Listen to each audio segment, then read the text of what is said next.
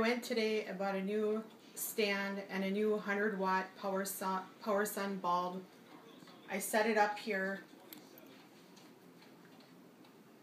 It's been running for a couple hours. There's a tape measure. It's a cloth tape measure, not a metal one. And you can see I'm about 12 inches away. This has a brand new battery in it. This is a brand new mercury vapor bulb.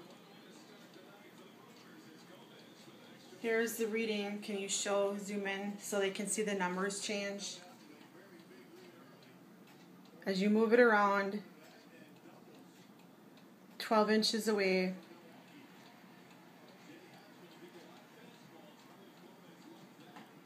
I'm not very getting a very high reading. As I go up, it gets higher. You can see how you can move it. This is like 8 inches away. But this would be 12 inches away.